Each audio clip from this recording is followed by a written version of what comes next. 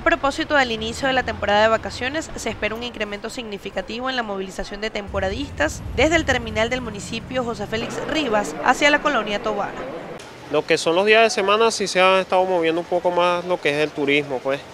Y los fines de semana, bueno, se ha estado movilizando lo que es lo normal, pues.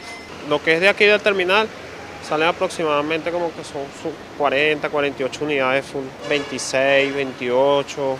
El costo del traslado hacia la colonia se ubica en 45 bolívares. No obstante, se espera un incremento del 25% para el mes de agosto.